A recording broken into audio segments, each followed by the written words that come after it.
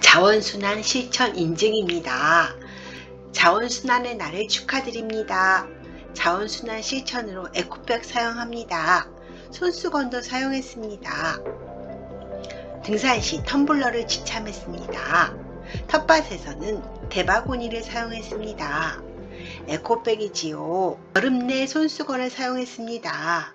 텀블러입니다. 대바구니지요.